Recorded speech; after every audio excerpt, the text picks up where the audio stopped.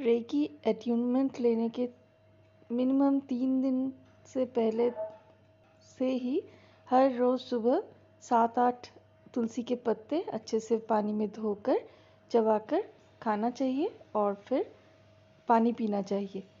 और साथ ही साथ अगर आपको ये भी बता देना चाहूँगी कि अगर आपको तुलसी का पत्ता ना मिले तो आप तुलसी अर्क या तुलसी ड्रॉप्स जो मिलते हैं मार्केट में अवेलेबल है लिक्विड फॉर्म में, उसको भी यूज़ कर सकते हैं, पर बेटर है आप तुलसी के पत्ते ही यूज़ करें, वो ज़्यादा प्योर होंगे। नेक्स्ट जिस दिन आप रेकी अट्यूनमेंट का दिन आपका फिक्स किया गया होगा आपके रेकी गुरु के द्वारा, उस दिन भी सुबह आपको वैसे ही तुलसी के पत्ते खाने हैं। और उसके पहले वाले दिन मतलब जिस दिन आप रेकी अटेनमेंट ग्रहण करने वाले हैं, उस दिन उसके अगले आगे वाले मतलब पिछले वाले दिन और अगले दिन, तीन दिन आपको नॉनवेज अवॉइड करना है।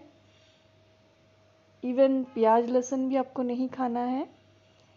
कोल्ड ड्रिंक्स चॉकलेट्स वगैरह स्वीट्स चाय कॉफ़ी इन सबसे भी परहेज़ करना है। अगर आप स्मोकिंग या ड्रिंकिंग करते हैं, उनसे भी आपको परहेज़ करना है एटलीस्ट ये थ्री डेज़ वैसे तो ये पूरे ज़िंदगी अगर अवॉइड करें तो बहुत अच्छा होता है। पर फिर भी if it is not possible इन तीन दिनों को आपको थोड़ा मेंटेन करना ही है। नेक्स्ट जिस दिन रेकी अटेनमेंट लेंगे आप, उस दिन जिस रूम में आप रेकी अटेनमेंट लेंगे आ, मैं ऑनलाइन की बात बात बोल रही हूँ क्योंकि मैं ऑनलाइन अटेनमेंट ही देती हूँ इसीलिए बता रही हूँ। आप अपने घर में जिस रूम से ये अटेनमेंट ग्रहण करने वाले हैं उस घर की अच्छे से सफ़ाई कीजिएगा दरवाज़ा खिड़की सब अच्छे से बंद करके रखिएगा ताकि बाहर का कोई आ, बाहर से कोई भी लाइट अंदर ना आए और बाहर से कोई आवाज़ वगैरह ना आए एकांत स्थान होना चाहिए जो आपके एकाग्रता में सहायता करेगा।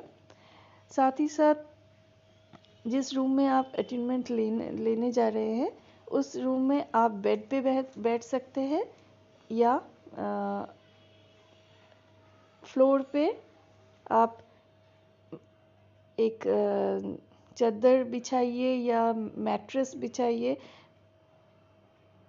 या ग्राउंड ग्राउंड ग्राउंड शीट बिछा सकते हैं।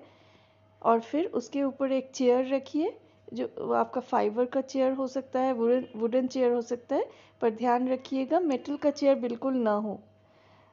और साथ ही साथ एक ऐसे कुशन की ज़रूरत है, जिसमें आप दोनों पैरों को अच्छे से रख सकते हैं और बीच में थोड़ा सा जगह भी खाली हो।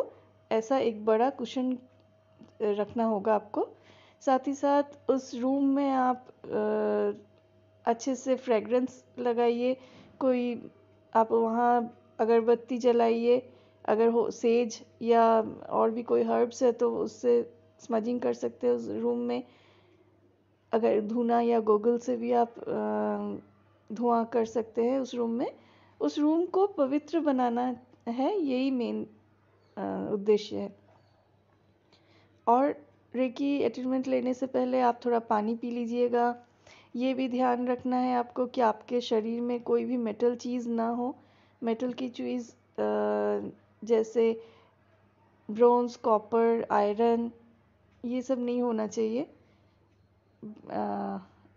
मंगलसूत्र वगैरह आप रेगुलर बेसिस पे यूज़ करते हैं तो वो उसको रख सकते हैं, जो मैंडेटरी है, उनको रख सकते हैं, पर मोस्टली जो मेटल्स है मेटल्स को अवॉइड करना है। बस ये सब चीज़, और एक एक कॉपी और पेन आपके आपके साथ रखिएगा नोट्स वगैरह लिखने के लिए, और आप खुद थोड़ा शांत मन में रहिए। रेकी से पहले से प्रे कीजिए कि आपका अटेनमेंट बहुत अच्छा हो। बस इतना ही। Universal power bless you with all success and blessings and happiness and peacefulness. नमस्ते।